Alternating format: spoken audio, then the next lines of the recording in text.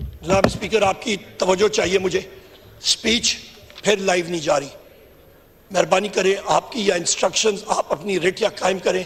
PTV पे आप मेहरबानी करें कि इंस्ट्रक्शंस जारी करें प्लीज़ शुक्रिया। I need your instructions and ruling जनाब स्पीकर। प्लीज़ रूलिंग दे दें। अब अपनी स्पीच खत्म करें I look into it no जनाब स्पीकर ये बात नहीं हुई। Can direct the chair please जनाब स्पीकर तो प्लीज़ डायरेक्ट पुराने पार्लियामेंटेरियन हैं। आप इस तरह ना करें। आपको ये सोचना चाहिए आपके और कोलीग्स हैं। जनाब स्पीकर फिर शहबाज शरीफ की जब होगी तो शहबाज शरीफ प्राइम पेशेंटली आपको सुन रहे हैं। नहीं आप काइंडली या या स्पीच या फिर उसकी भी नहीं होगी।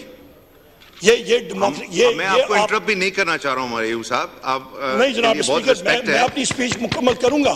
पर मैं ये आपसे एक्सपेक्ट नहीं कर रहा था। I am very sorry to say I am very disappointed in your conduct जनाब स्पीकर यहाँ पे ये मैं बात करता चलूँ। कि 27 फरवरी 2021 को जब ये कॉन्ट्रैक्ट साइन हुआ तो तकरीबन पाकिस्तान को सालाना बचत 317 मिलियन डॉलर्स की अगले 10 सालों के लिए थी। और ये तकरीबन अगले 10 सालों के लिए पाकिस्तान को 840 अरब रुपए इमरान खान साहब की हुकूमत और इमरान खान साहब ने बचाए। ये होती है सेविंग जनाब स्पीकर ये होता है सही कॉन्ट्रैक्ट्स ना कि कैपेसिटी ट्रैप्स में और गलत कॉन्ट्रैक्ट्स मुस्लिम लीग नून ने जिस तरह किए थे।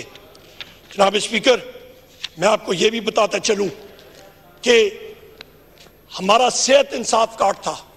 सेहत इंसाफ कार्ड का, उसको पता है, जिसके घर में बीमारी होती है, जिसके घर में कोई बीमार हो जाए, उसको उस दस लाख रुपए जो उसकी जेब में इमरान खान साहब ने डाला था, उसका फ़ायदा आता है।